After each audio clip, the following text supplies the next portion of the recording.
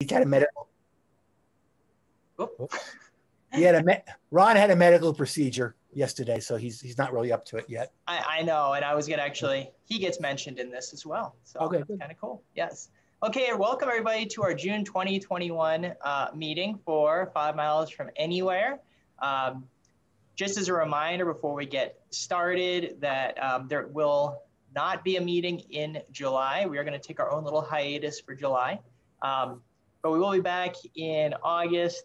And I'm not 100, there's two different people I'm going back and forth with for the speakers of August. I can't announce it yet. Um, but I can guarantee you the August speaker is going to rock whoever it ends up being. okay. And whoever doesn't will probably end up being the September one. All right. So um, if you were here last month, you probably have an idea of who's probably going to be it, but it just he's double checking. So I can't, I can't say it yet. Um, all right. So what I'm going to do is share my screen here and uh, get started. Hopefully today my PowerPoint works better than last time.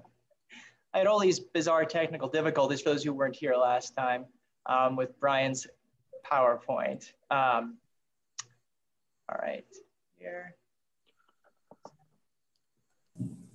There we go. Okay, so for today, um, started with announcements. I got a couple more announcements gonna make. Then I'll give my talk, A Study in Combat. Uh, I sent you guys uh, PDFs of that particular essay, and I'll talk to you a little bit more about where that's gonna show up. Uh, and then um, we'll do our discussion of the empty house, okay? Um, um, yeah, okay. And, okay, so first announcement, I wanted to give a shout out to uh, Jay uh, Ganguly and several of our members uh, for the excellent proceedings of the Pondicherry Lodge. The, the current issue for June is, I believe, over 200 pages. Uh, it's gorgeous. Uh, she is an amazing editor and um, really some wonderful uh, essays in that particular collection. Okay, so Jay, uh, shout out to you for, for doing such an awesome job on that one. Um, a couple of things just to say that are in that particular issue. Um, I wrote an article on Five Miles from Anywhere uh, that is in there. Uh, it's called How to Stay Connected During a Pandemic, Start a Virtual Sherlock Holmes Society.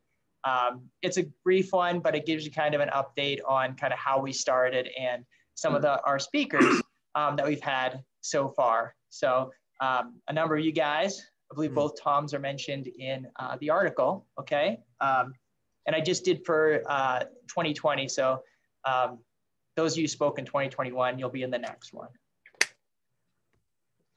Um, our member, uh, Ron Lees, who could not be here today because of uh, surgery, as Larry mentioned, has a really cool one, also an article in there um, on the relationship between Holmes and Lestrade, uh, where he asks, were they friends, rivals, enemies, or colleagues? And he looks at all the stories and every mention of Lestrade in the canon um, and talks about that. It's a pretty cool um, essay. And again, and I don't know if I mentioned that the uh, Pondicherry Lodge is free. So you can just uh, download it um, and it's free to all members. It's free to anybody. So it's really cool.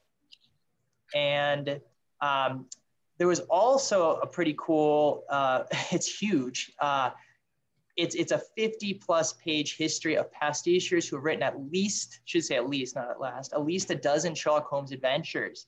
Uh, a few of our uh, members are mentioned in the article. Um, a number of us have written a dozen or more, um, but it's a really cool, uh, anything David Marcum writes is, is very thorough. Um, and it, it, starts really right after Doyle and goes up to today. And it's, it's a really cool um, article. And again, it's, it's like a quarter of the journal is that article. It's, it's cool. All right. Jay, are you going to, uh, are you, uh, anybody can submit for that art uh, for your journal. Is that correct? Absolutely, absolutely. Anybody can submit it. The deadline is November 15th. So there's plenty of time, no excuses. Excellent. Thank you. Yeah. So yeah, no excuses. I like how you ended on that one. So November 15th is the deadline. So if anybody wants to write an article uh, on Holmes, any, anybody who uh, wants to give it a shot, maybe you've never done it before and just want to try it out, um, definitely write something up and send it to Jay. And, and like I said, if you haven't seen the journal, it is just gorgeous. And she does such a wonderful job. So cheers to you, Jay. All right. Uh, another uh, thing to mention is last uh, week, uh, Brian gave his talk on Sherlock Holmes and comic books. Um, and a couple of people said, well, there's some reproductions here and there. Um, and there's one um, particular uh, reprint you can get on Amazon from uh, Land Comics, which I pretty sure just reprint stuff that actually is under copyright. I'm not sure yet, uh, but it, it, has a really good uh, reproduction of four of the comics mentioned in our last meeting, and it's a full color reproduction.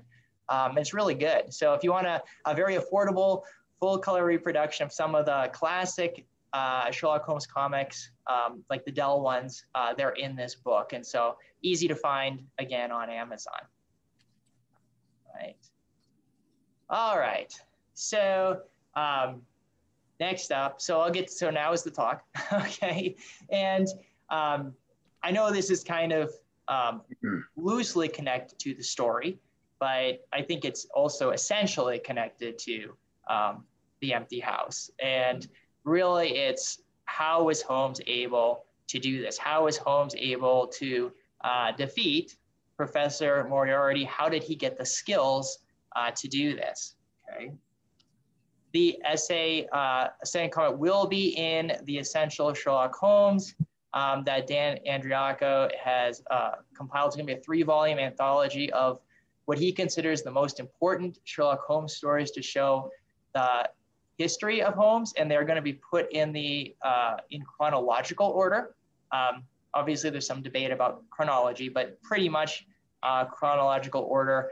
Uh, and after every story he says is essential, um, there will be some several essays um, by a number of different um, Sherlockians um, that that will be in there as well. So it should be a really nice collection. He's he's uh, compiled. All right. And a, oh, there's some stuff in the chat. I'm just gonna look at quick. Okay. Oh, thanks Jay for putting that uh, that in there for everybody.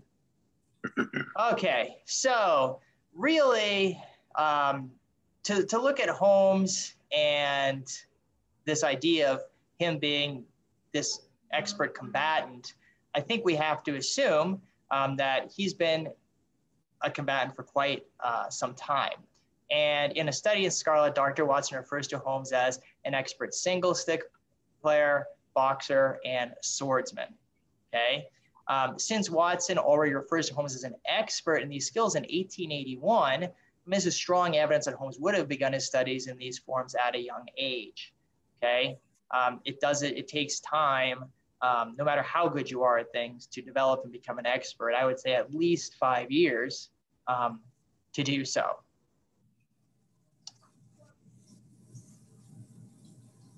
According to um, Baring, William Baring Gould, who's a really good one to start with, um, he proposed that Holmes started his combat studies in 1868 at the age of 14. I think that's probably pretty accurate because that would give him about 13 years before he met Watson to become an expert in these different areas. Uh, according to Baring Gould, Holmes learned boxing from his father, who wanted to make sure his son was tough enough to protect himself from would-be assailants. Um, I would propose um, that Holmes's striking intelligence, coupled with his lack, occasional lack of social graces, you know, made him a target for bullies. Um, and that his father probably saw that and saw that potential and really wanted to make sure he could protect his son. Um, possibly also Mycroft with his weight could have also been a target of bullies as well. Um, and again, it just gave him something to um, say, well, I want to make sure my son does all right. Okay, um, according to Baring Gould, and again, I mean, depends on how much you want to take him, but I think it's pretty, this is a pretty accurate or, or good understanding of how Holmes developed um, that Holmes's father also had him enrolled in the most celebrated fencing school in Europe, the Salon of uh, Mayor Alphonse Benzine. I believe that's how his name is pronounced. Um, and it was under the guidance of Benzine that Holmes would have also trained in the single stick. Um, single stick was commonly used as a practice weapon for both the backsword and the saber. So with some fencing, uh, it was common also with fencing to, um, you know, practice with the wooden stick uh, before actually doing uh, the fencing work. Okay. Anyone know what movie that's from? Young Sherlock Holmes. Yes, Young Sherlock Holmes. Okay. Which is really a certainly not canonical, but a really fun movie. Uh, I, I really enjoyed that one. All right, so that kind of uh, explains a lot of what we would call the Western influence on home. So he's learning, uh, father's teaching him boxing, uh, and then he's also learning fencing, um, you know, regular combat, typical things you would have learned um, in, say, a college, um, whichever one he went to um, in that time period. Um, what's a little harder to determine is how he learned, um, you know, the martial arts, okay, the Eastern influence.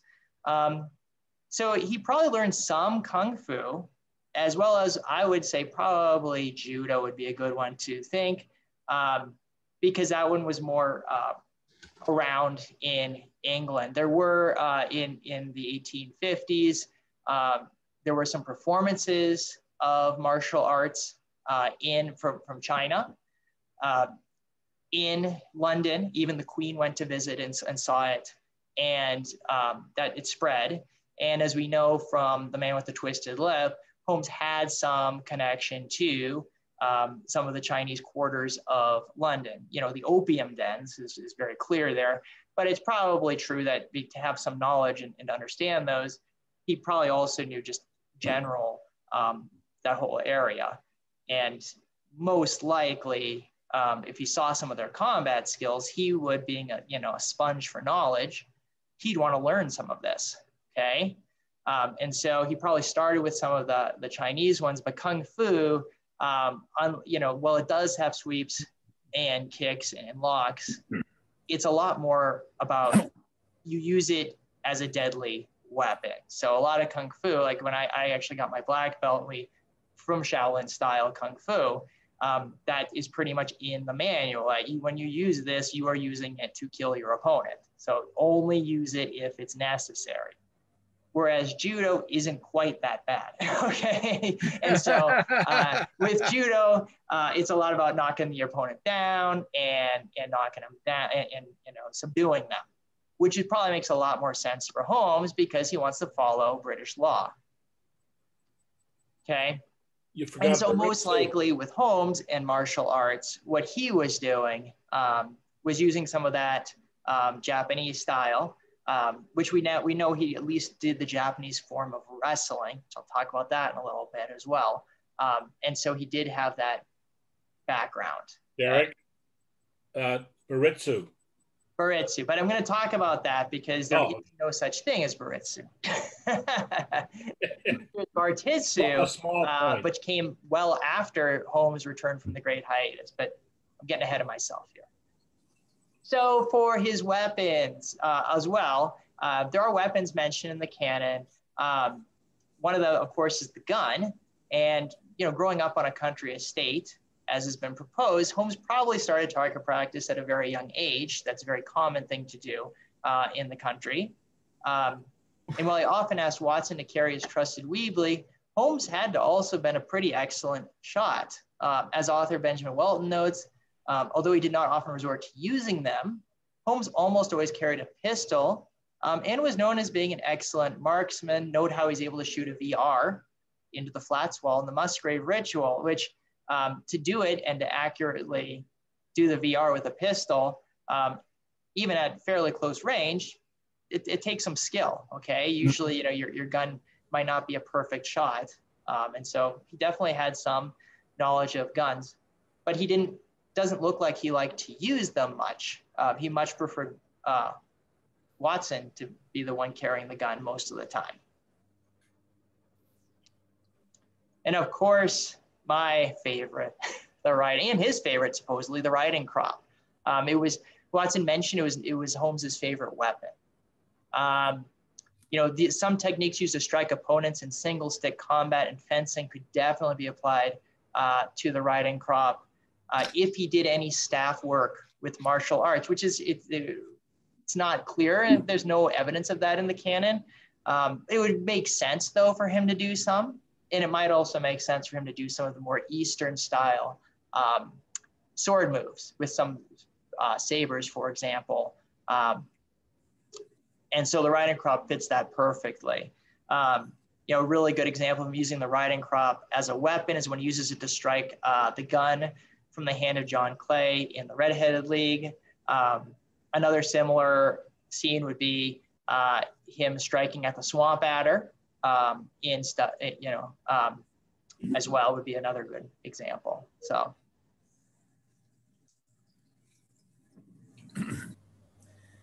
All right, so uh, blending forms of combat. Um, so Holmes used his knowledge of different combat forms and blended them together to create his own defense system, which I would argue is what Baritsu is. Okay, it's his own system of um, combat.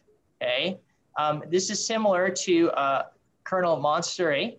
Uh, some of you may have read his work. Um, he's a 19th century combatant. He traveled the world to learn different fighting forms. Um, he was known, he was mainly a, a fencing teacher, um, but he also served uh, and fought uh, in Mexico and some South American countries in some wars. Uh, a lot of people um, commended him um, for teaching them some good fighting moves. And really, um, you know, I don't know why there's, as far as I know, there's never been a, a pastiche where uh, Holmes met Colonel Monster, but there really should be because uh, they, they're very similar uh, in how they fight um, and blending their styles. All right. So that so now we're kind of getting to Holmes. He's learned everything. He's grown up. He's now an expert. Uh, and now we come to that confrontation at the Reichenbach. Okay, and there's that real plaque that says this is where you know he fought Moriarty at the falls. So if anyone ever goes there, I haven't been, I haven't seen it myself, but there is that plaque actually there uh, at the Reichenbach Falls, which is pretty cool.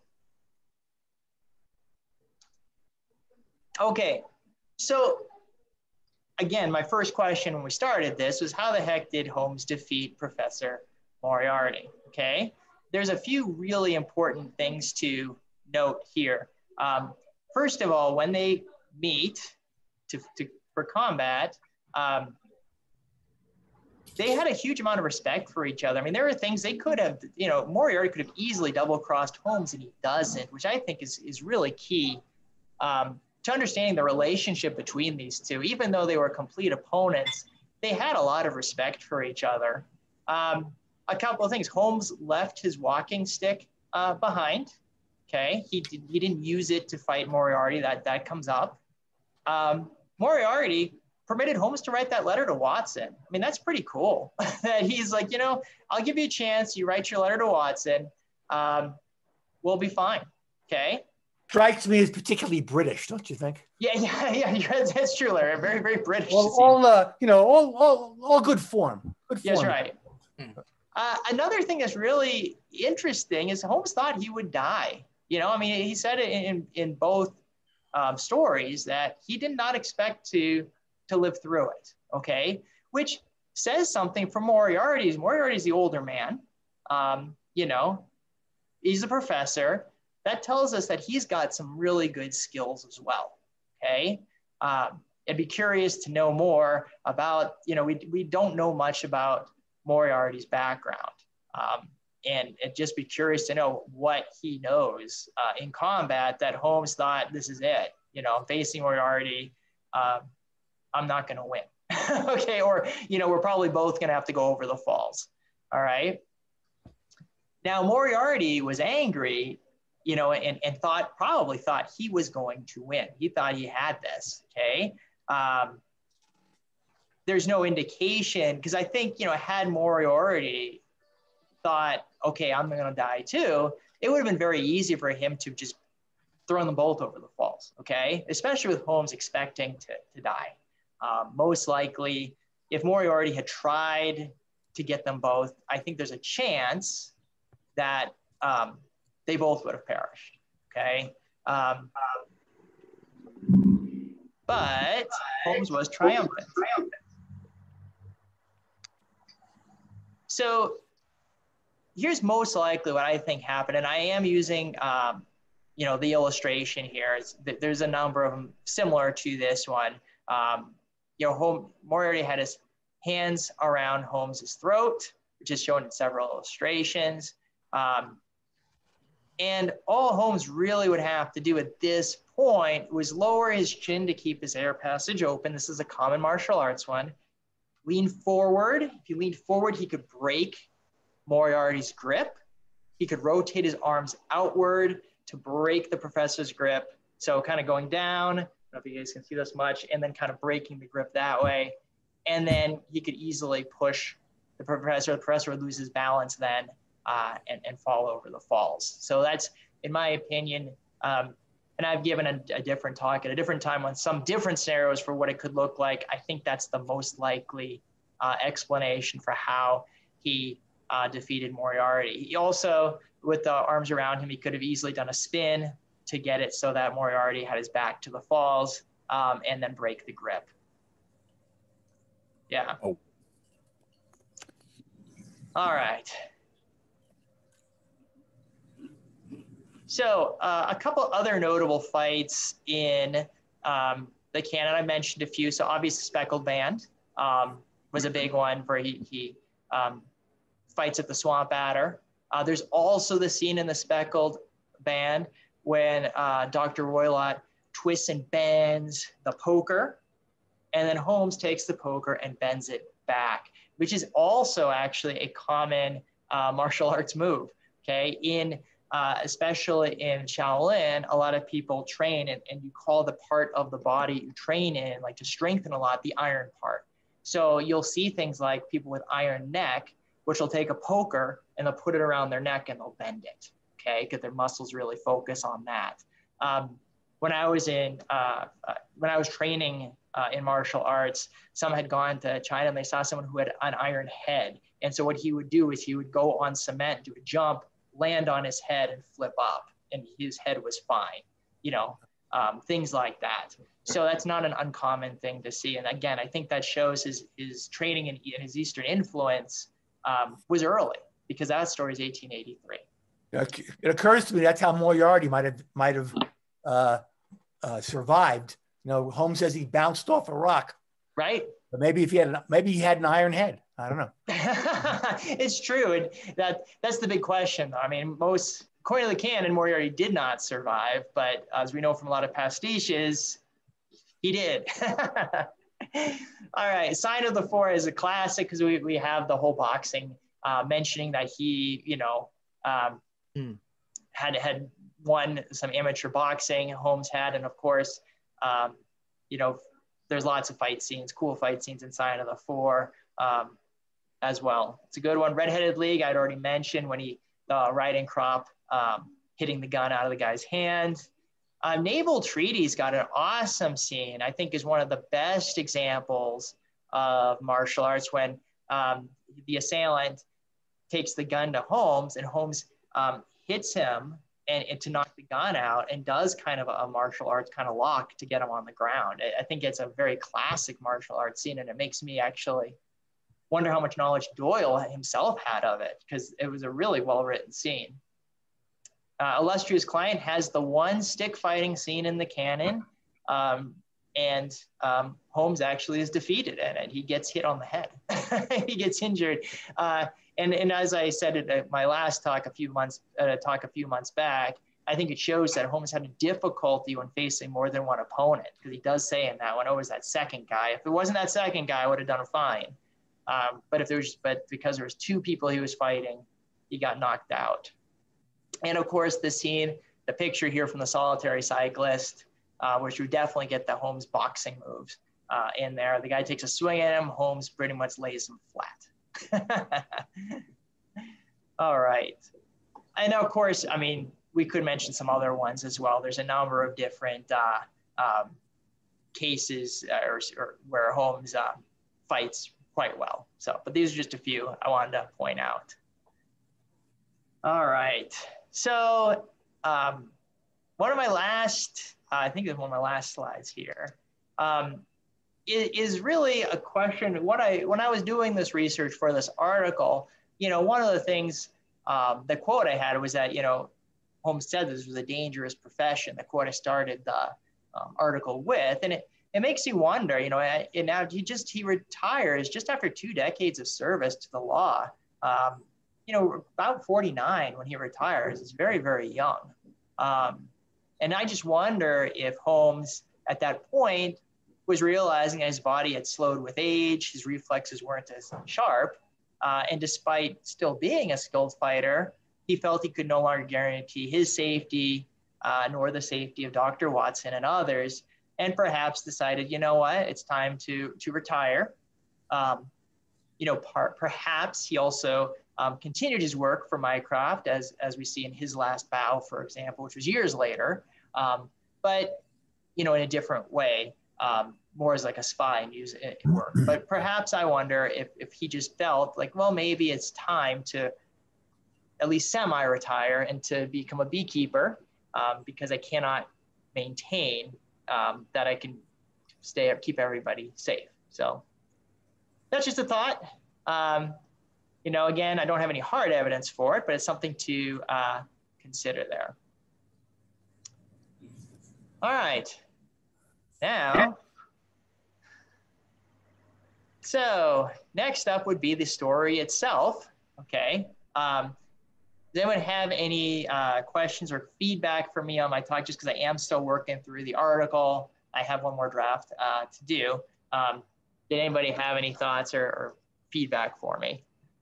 Derrick, I've I've always had a theory, and I wanted to bounce it off you at the group. Is so I you know I always give Holmes that he's the smartest man that we probably would have ever met. So knowing that Moriarty was probably not going to play fairly, it wasn't like Moriarty would be like, okay, let's have a gentleman's fight, and you know, and best man wins, and, and that was true because he had, you know, according to the story, Sebastian Moran hiding and I still think Moran was there to pick off Holmes, you know, himself if he had gotten a good lucky shot at it. So my thought is, if if Holmes went into this knowing that he was that Moriarty was going to cheat, think back to uh, Indiana Jones and the the iconic scene where the guy with the sword and and Jones just finally says, "How the hell with it?" Pulls out the gun and shoots him and just gets gets it over with. Would we have thought a lot less of Holmes if he had just said, I'm not gonna I'm not gonna die this way being cheated and just pulled out a gun and shot Moriarty and then said, I'm gonna go take a three year hiatus, you know. you know, it, it's funny. There's there's a, a, a novel uh, by David Stuart Davies where, where he has like the what what really happened at the Reichenbach uh, fall scene. And what really happened is Watson never left, and Holmes and Watson grab each each grab one of Moriarty's forms and they throw him over the falls. Which again, and of course Watson rewrites it so that uh, it, it, makes Holmes look a little more noble. Well, I, I know I've always wondered if if if uh, you know you know you talked about maybe uh, that that uh, they were they were either Moriarty was playing the cheat or you know more you know by with using Moran or whatever. But you know Moran, who's who's who's uh, who's a great shot, uh, try when he try goes to kill Holmes, he just throws rocks at him. So it's like, uh, why? I mean, if he just had it, one of his guns with him, it would have been it would have been all over. Mm. It was a, a crack you know, shot, obviously. And and I, I do wonder um, from both of you, but just Steve, getting back to you. I mean, again, it's it's almost like these two had had a great amount of respect for each other because you would assume that Moriarty would, would be up to something, would have some trick up his sleeve. And he could have, of course, pulled out the gun and shot Holmes. You know, Holmes had his walking stick. He could have easily, you know, used that as a weapon. But yet the two men, you know, they put, they, they, they do a gentleman's agreement. He lets him, you know, Holmes puts down his staff. Moriarty mm-hmm. write, lets him, Holmes write that letter to Watson. And then they, they have this conflict. And so I think it is interesting that they really didn't. Neither one of them really plays a trick, at least according to the version that Holmes well, tells Watson. And, and and I hate to say, yeah, I was going to say we're we're relying on what Holmes told Watson. You know, in my in my world, like I said, maybe Moriarty pour, pulls a gun out first, and Holmes shoots him, and over the falls he goes, and then he writes, you know, he writes this nice little note for Watson and says, "This is what happened," and you know, bye, you know. So, But do you think that neither man's ego, and we know they both had one, wouldn't allow either one to cheat? oh, I, I think Moriarty would be more than happy to cheat because I think he he was so hell bent on killing. I mean, again, he chased him all over, you know, Yes, England but and would Europe. not assume that the great Moriarty would kill Holmes? It's not a question. It is not a question. In his mind, in hand-to-hand combat, he would kill him. He knew that. so arrogant. Yeah. Yes. and it, it Oh, could yeah. be, you know, and as Tommy, you're right. It could, it could be that he was overconfident uh, in his abilities. Um, the And other thing that's interesting, I mean, at this point, Holmes had pretty much won. I mean, he had he had destroyed uh, Moriarty's gang. He had he had destroyed the connections. You know, Moriarty was finished, and yet, you know, it makes and, and he was angry, and yet he did not do anything, in my opinion, or or at least from what we have, um, to really trick Holmes or or to to to play dirty. He played fair, you know, and even with um, having Moran around, he didn't have more. I mean, it would have been so easy to have them Right. face and just have Moran shoot him. He's, a, he's an expert shot. He's right there. He wanted Yeah, did he do it. probably, I, I always think Moriarty probably told Moran, do not bring your gun. Whatever you do, don't bring your gun because, because, you know, I, I don't think, obviously, uh, uh, Colonel Moran was a cheat. I mean, that's the whole point of a, of a, of, of Yes, yeah. Mm. Right. empty house. Yes, I guess I guess I'm going to go with the uh, being the stereotypical that if, if you assume that Moriarty is many years older than Holmes, you know, especially if you buy into that he was his tutor back when he was a kid, plus he was a professor, so he probably didn't get a lot of physical exercise. And the, the third thing is he had already, I, you know, he kept up with everything Holmes did. He already had seen that Holmes was pretty good as a physical fighter, you know, just based on the stories that he'd read, and I'm sure he he had firsthand accounts, you know of other times when Holmes had, had beat people physically. So I again I, I'm gonna go with if if Moriarty truly wanted Holmes dead and him to survive, I wouldn't put it past him to cheat, you know. And yet, and yet he he didn't. I mean, as far as we know, he didn't, which is, you know, again, I, I find it very interesting. I think it's fascinating about the relationship between these two. Um, what little we know of Moriarty, you know, from really a handful of stories. Right. I, I, I think they liked having the competition between each other because they didn't find anybody else an equal uh, competitor. Definitely. Exactly. Yeah, I, I I definitely think that. I think there was one of the reasons I think Holmes did, did his hiatus. I think possibly was just he was, you know, he felt free after Moria was gone, but also maybe disappointed because he doesn't have that foe anymore, You know, or why he, re- or why he retired at 49. right? Yeah. There's no great challenges left for the great detective. And as we know from the later stories, there really weren't a lot of great challenges. True enough. How about how about the the story itself? So what did what did everyone think of um, the empty house, uh, the hiatus in particular? Any thoughts on that? The explanation Holmes gives. Do we do we buy that all he was doing uh, was spending a couple of years hanging out in Lhasa, walking around, and then researching coal tar derivatives, or do we think he was up to more than that? Uh, you know, pastiche fiction will tell you that he was up to way more than that. Yeah, I was gonna say. She's written about Holmes during the Great Hiatus have been whole collections of of of Yeah. uh, of, of, of pastiches dedicated to that. Yeah. So Yeah, if we take Holmes at his word, we're gonna get rid of half the pastiches out there. it, Well, and, and I look at it that I'm kind of torn in between because on one hand, you know, when when Holmes talks about how many cases he solved, and you know, there's people that extrapolated that it could have been as many as 1,600. Um, and so I can see where he might say, "I'm going to take some time off for myself and just see the world and and because I normally don't get a chance to do that, you know. So I, so I could see that, but I could also, I, I also am a little worried that you know, and I don't remember which story it was where he talks about that if I if I leave England for any period of time, basically the whole thing goes to hell in a handbasket. That I'm I'm the only one keeping England from you know just going to pot. And so I wonder how, in his own mind, how he rationalized being gone for three years because brings out excitement to criminal classes and undue. Dis- There's that ego, boy. Yeah. yeah. Well, and, and it's interesting because not only did he disappear for a few years, but he let everyone think he was dead.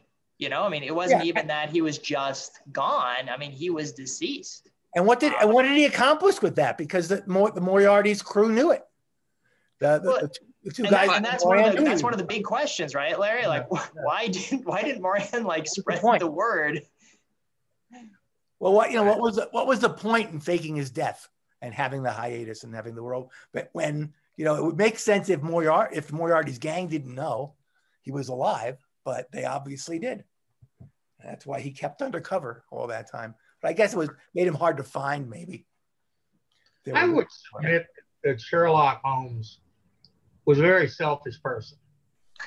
And I think that can be shown in a number of different ways. I mean, all right, start with the way he treats Watson.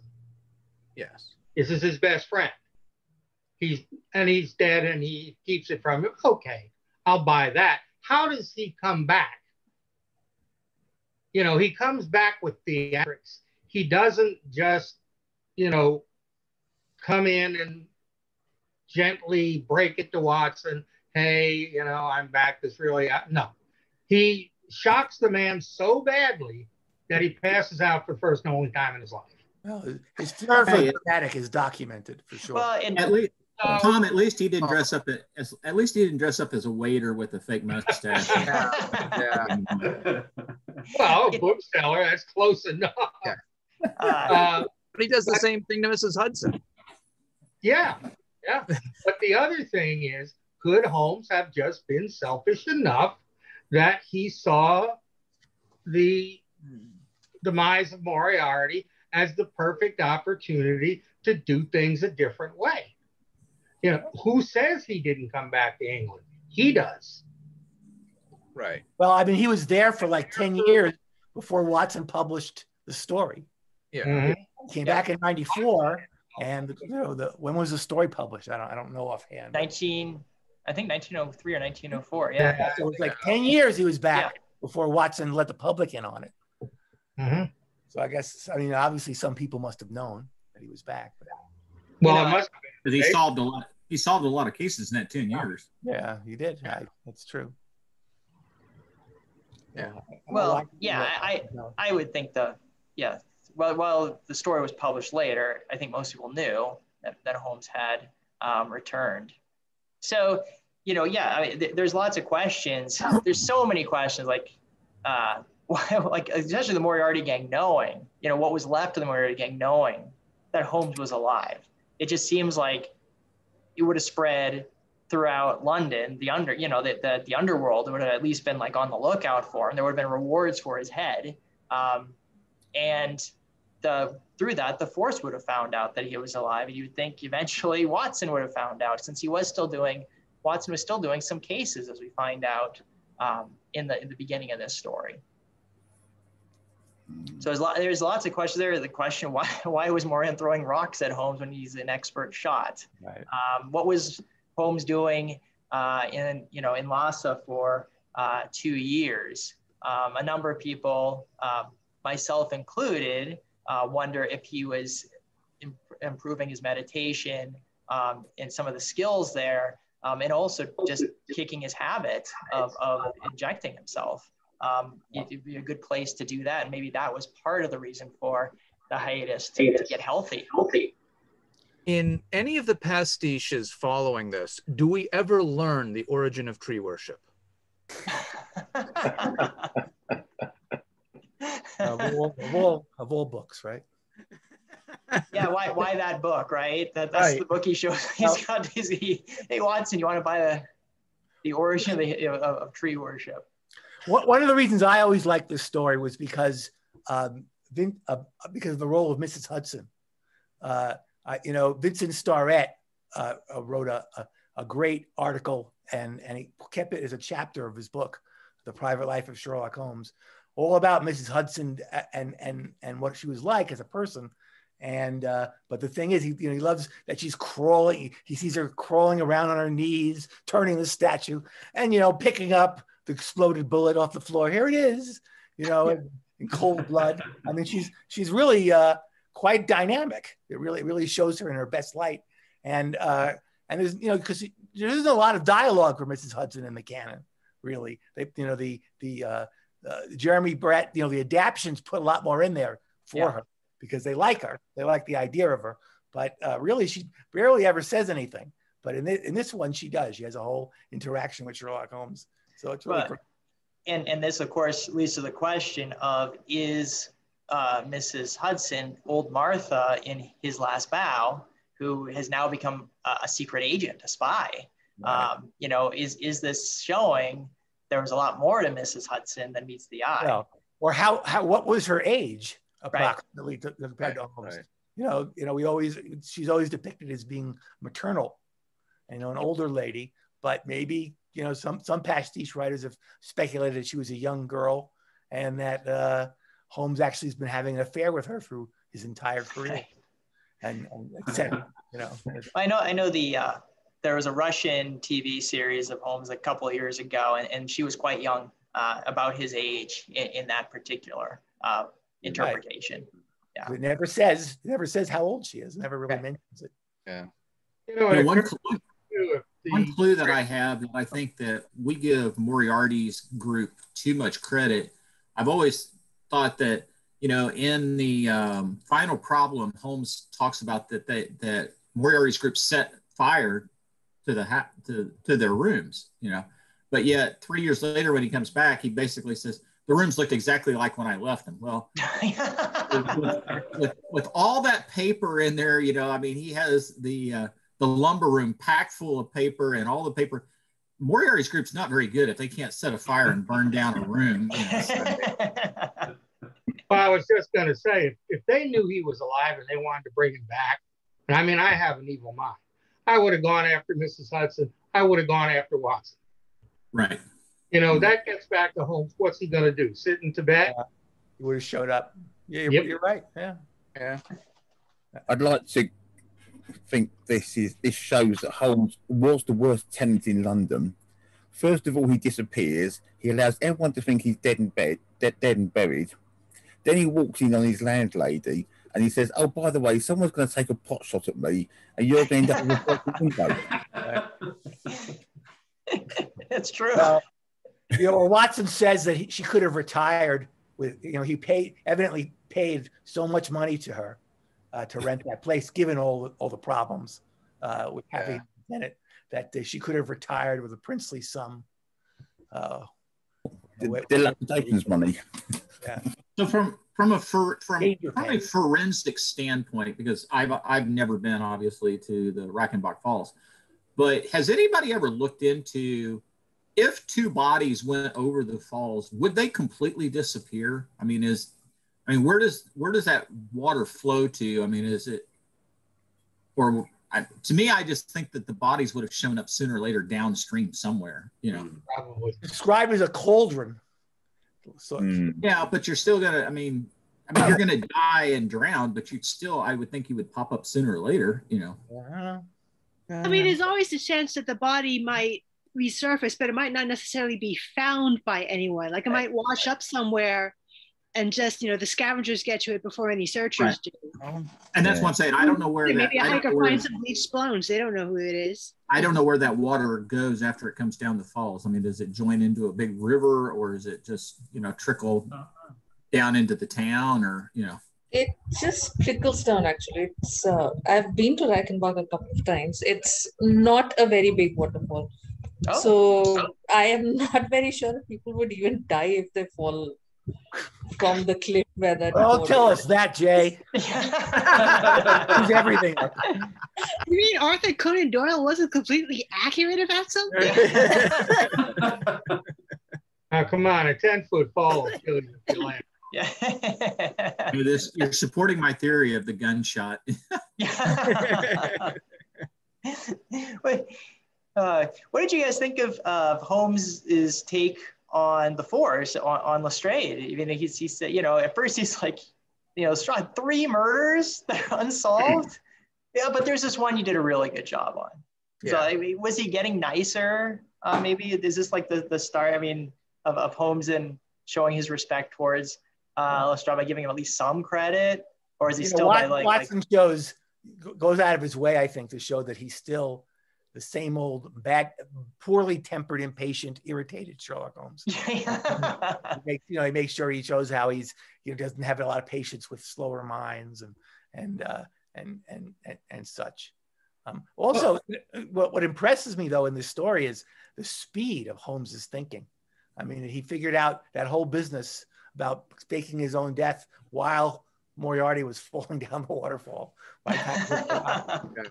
you know, what I know, and even though even though Holmes studied crime, you know, throughout his life, uh, you know, one possibility is during this three years where he was traveling all over, you know, the continent and everything else, maybe he got to see how bad other police forces were in other countries and and how little they did, and so maybe he did come back with a little more respect for Scotland Yard and say, you know, y'all aren't too bad after all compared to what I've seen in other places. So.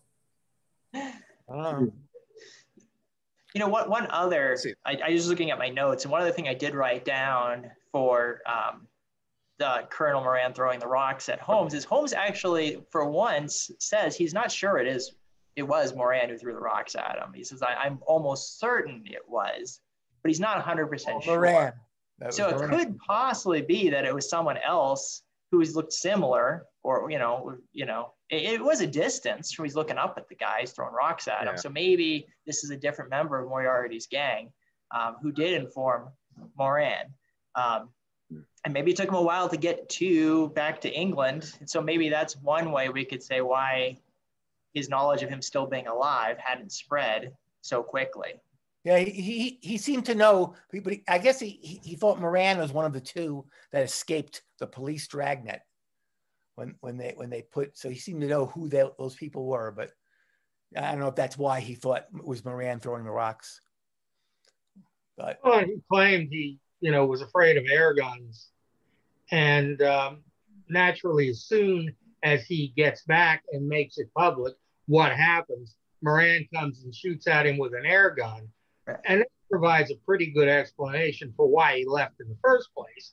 Because who wants, you know, who wants to be under that kind of a threat every day? And actually, the odds are that he's going to get you you know, presumably with the murder of Adair with an air gun. Now Holmes knew where Moran was, what he was doing, and he could set Right. him up. But if he didn't have that, he may have been the one who was was killed. Yeah. Right? I, I well, it think- makes sense that he would he would go- go on the run. That's I was going to say you have to assume that Moran, you know, is is fairly intelligent and realizes if I go straight back to England, I'm going to get arrested because they're they're wanting to pull in everybody in the gang, and my leader has just been killed. So maybe it's better if I stay over here on the continent for a couple of years until things die down. You know. yeah, Well, I I- think Yeah. Dana, you were going to say something? yeah, the, the fact that Moran is, you know, at liberty and you know killing people three years after Reichenbach, um, it seems to me like I mean, since he wasn't caught in the initial sweep, and presumably, you know, the police did not have sufficient evidence to just arrest him. It seems like Holmes really did have to set up a situation where they could catch Moran, you know, in the act of actually trying to kill someone. That might probably be due to the, the fact that he appears to be someone of comparatively high status. You know, he's he's a clubman. You know, Yeah. he's a a very well known, well regarded, you know, veteran. You know, his, his bag of tigers is still Yeah. unrivaled. You know, th- th- this guy's got a rep. You know, Yeah. in society. I think Shannon's got it. That's really probably Yeah, I agree. makes a lot of sense to me. Uh, him, he was obviously, you know, walking around and, and I mean, professionally, he was a professional gambler. He was cheating. But on the other hand, he doesn't just like step in and take over the network. So it seems like, you know, enough people were caught that he couldn't just, Right. you know, Well, again, Holmes says it was just the two of them. It was just two people. Holmes said. So- And maybe that's not his aspiration either. Moran Yeah, he was wasn't yeah. not not a leader in a criminal mastermind. No. So, so I would Not like to. everyone's turn- a Mycroft.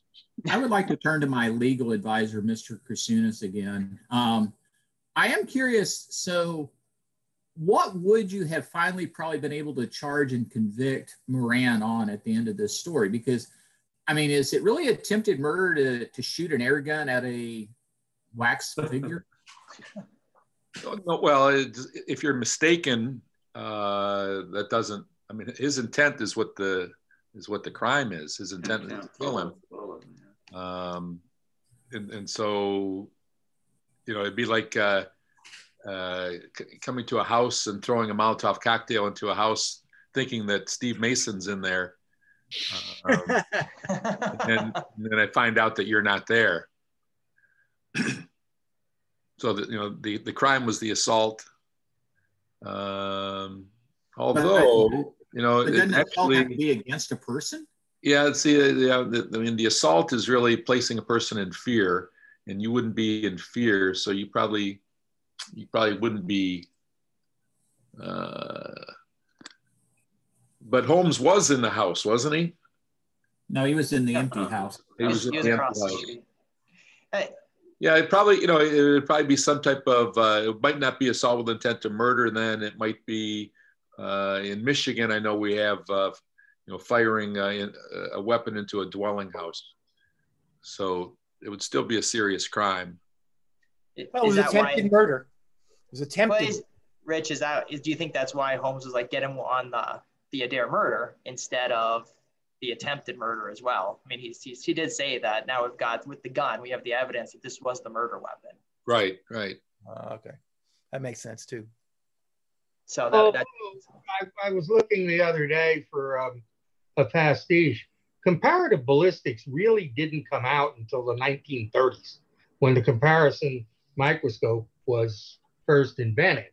Uh, now, Holmes, one of the things I like to do in pastiches is sort of pioneer him as, you know, with some of these techniques. But the point is, is that it wouldn't have been as easy to identify, especially if the bullet was flattened, which it was, to say that it definitively came from that gun. Well, you know, it, they kept referring to it as a as a pistol bullet, right. which which which you know, I the whole you know, which is what one part of the mystery was. It didn't seem like a long distance weapon. I had a man from Uncle Gun with a pistol with a stock. Mm, okay. There's something about this story that I've always wondered about. You know, it's titled, you know, The Empty House. Why is there an empty house across from 221B Baker Street? Like, how possible is that? Because the I mean- McDougal twins hadn't moved in yet. Maybe, maybe that's one of maybe that's one of Holmes's five refuges where he hides out. He just didn't he hadn't told anybody about it yet. Wait, No, he just bought it and emptied it out so Moran would have a place to go. He thinks the that. bolt holes. I, I think there's also just the fact that I mean it, it could have just you know been in transition. Someone moved out. Someone hadn't moved back moved in yet. I mean, it's, I don't think it's that uncommon for a house to be empty be- between owners. But this and this story is about that trans- transition. The empty house is really 221B because Holmes hasn't moved back in yet.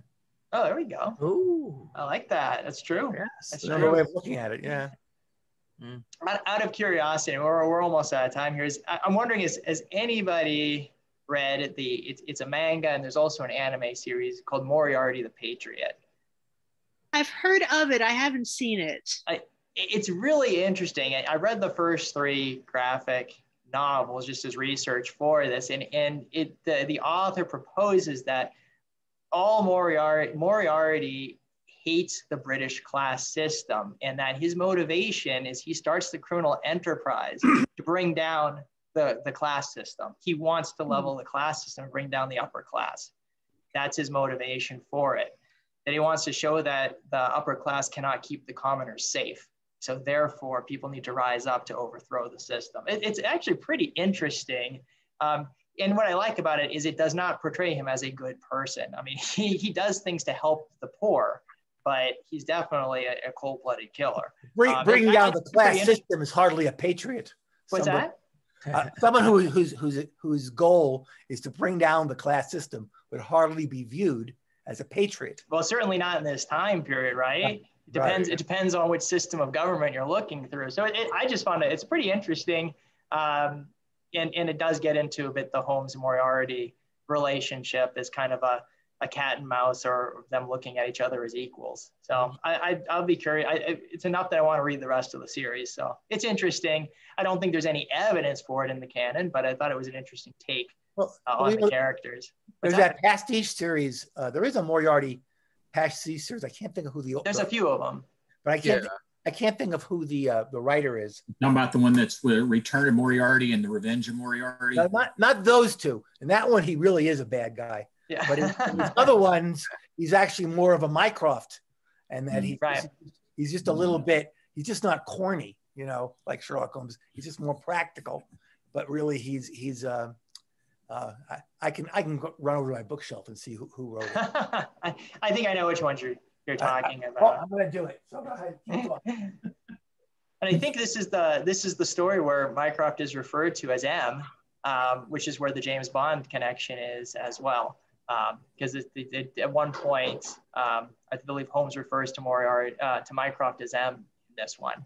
Um, and I know that the author of James Bond did base M off of off of uh, Mycroft Holmes. So I thought that was interesting too. Derrick, I've got to run to uh, Toronto for another meeting. Yeah, I know a lot of them. Are, a lot of them are happen to understand. I, I, I just have one question because uh, I go to a lot of different meetings and they always mention your book company and they mention you. And the question has come up, how do you pronounce your last name? So I Oh, want to get it's Belanger. Belanger. Yes. Very good. Wow. Hey, look right. what came in the mail wasn't the other even day. close. Oh, she's got it. that's In- that's one of our in- latest ones. In Michael Texas, Curley. by the way, it's Bell it's Oh. Bellinger. Yeah, and, and, Yeah, and, they're all wrong. In Montreal, what are we gonna do? Oh, I've got uh, yes, in the Boulanger, of course.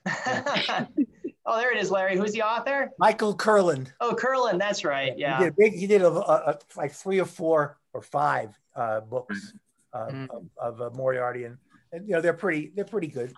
Cool. All right, everyone. Uh, it's 11. Um, so again, we- we'll be back in August. I'll let you guys know. I should know pretty soon who the speaker is going to be in August. It's not uh, 100% certain yet, uh, but I'll let you know. Um, so yes, uh, next month we have a little uh, a little reprieve, a little break, our own uh, summer hiatus, uh, but we'll be back uh, in August um, and and probably going forward. I think the rest of this year, um, again, first Saturday of the month. Okay. Um, thank you, everybody. This has been a wonderful time as always, and I will uh, see you again in August. Take care. Thank you. All right, thank you. Bye. Thank you, Lita.